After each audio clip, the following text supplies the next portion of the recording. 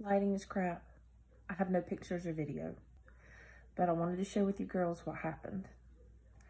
My shower head broke, so I needed to change it out.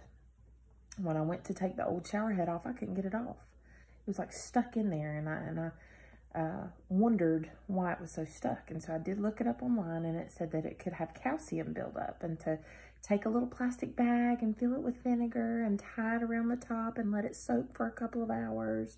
So I thought I can do that. I have vinegar.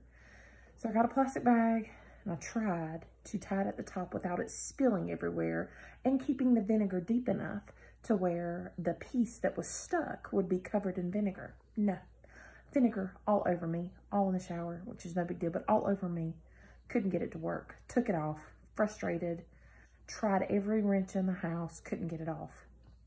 Finally, I said, okay, I'm gonna apply vinegar, but I'm just gonna take a toothbrush and I'm gonna scrub that piece really good. And so I scrubbed the piece with vinegar with an old toothbrush. And I was like, this is no, there's no way it's gonna work. That other thing said to soak it for hours. There's no way this is gonna work. Scrubbed it for like two minutes with vinegar. Put my wrench up there, same clamping wrench. Torqued it just a little bit, didn't happen. Put it up there again, tightened it again, torqued it a little bit, nothing happened. Third time I put it up there, it moved and it came off. I don't know.